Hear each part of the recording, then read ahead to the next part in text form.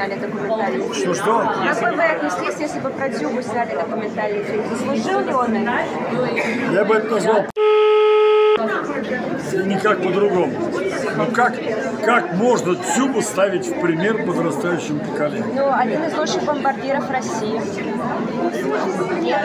Я вам скажу так, если бы мы вышли против него, он через 15 минут сдох бы. А если бы были здоровые ноги, я бы посмотрел, кто из нас лучше пробьет поворот. У меня два удара Лев Иванович. Он, правда, с места не тронулся. Мы оба динамовцы.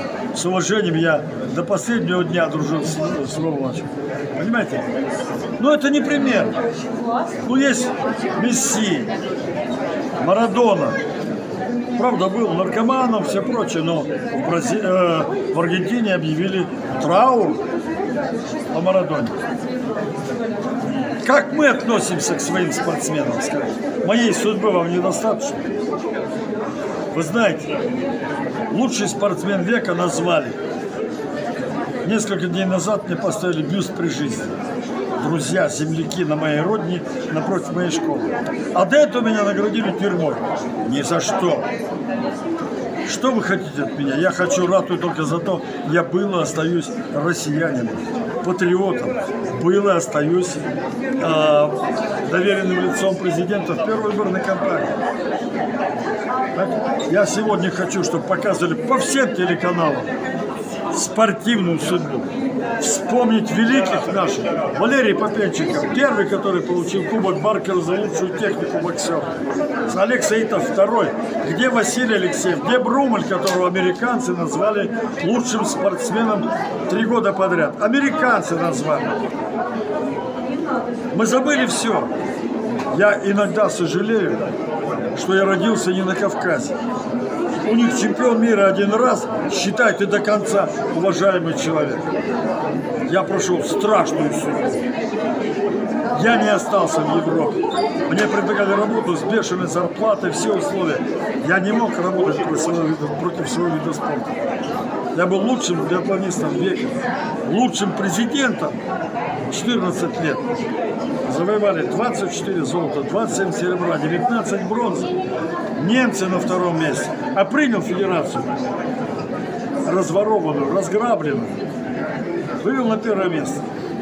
Лучший в мире. Меня назвали лучшим президентом среди 56 стран. Чем закончилось? Мы должны любить и уважать свое. Понимаете?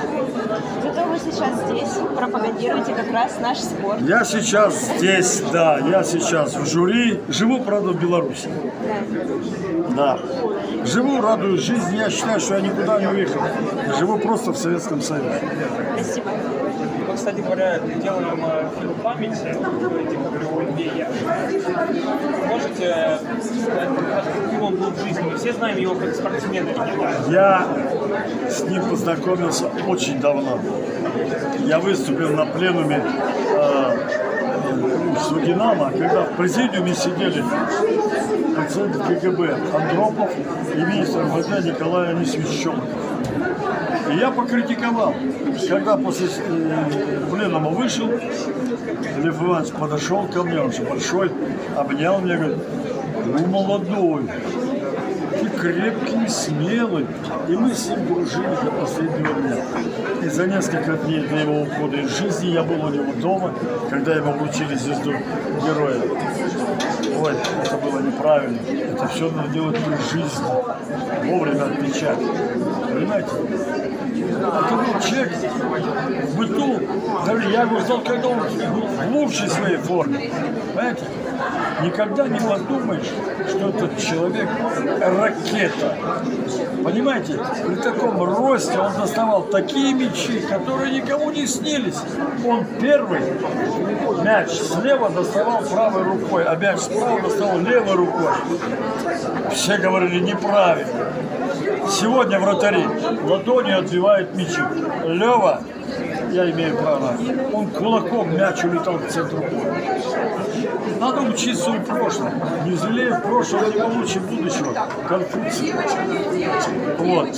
Это был пример, которого мы сегодня не преподаем.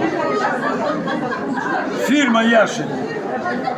Мой фильм «Властелин своей судьбы» писали в Министерстве культуры. Фильм о Николае Николаевиче Озере. Ни копейки не дали никто. Но преступность на всех экранах. Я этого понять.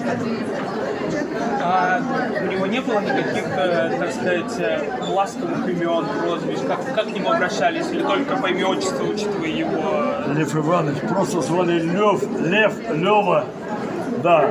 Вы знаете, вот он такой был медлительный в жизни, никогда не подумаешь. Он такой, знаете, муха на всякую не сгода. Знаете, все. И он сегодня должен, его надо преподать как образец спортсмена, единственный золотой мяч, как образец спортсмена, гражданина по отношению к своему делу, по отношению к стране. Понимаете? Это Яшин. Ну, а его наследие живет не только как бы в среди поклонников клуба «Динамо», среди поклонников, в принципе, футбола, а вот в его семье.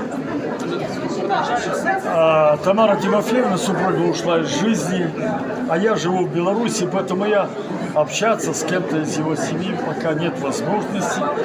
Но я скажу, вы знаете, мы давайте Яшина преподнесем. Вот соберем все, кто его знал, запишем, покажем. Все его достижения. Я не могу хронику найти своих выступлений. 40 лет прошу Красногорск, дайте мне. Нет.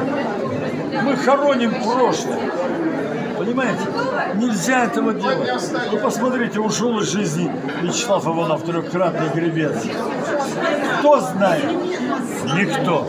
Где Василий Алексеевич? Штаны есть. Никто. Я проехал, я вам перечислил. От Дальнего Востока по Сибири, Уралу, Алтаю и до Волгограда и Саратова. Задаешь вопрос, и никто не знает. А знаете почему? Потому что вы не показываете, пресса не пишет, не преподносит. Это страшно.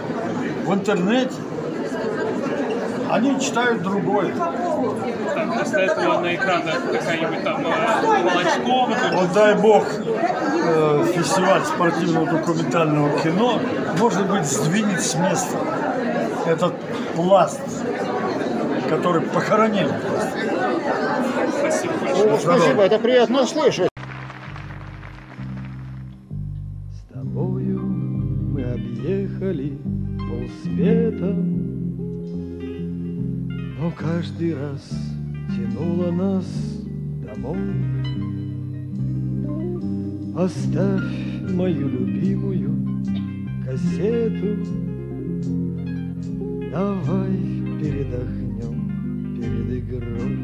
Тебе судьбу мою вершить, Тебе одной меня судить. Команда молодости нашей, Команда, без которой мне не жить.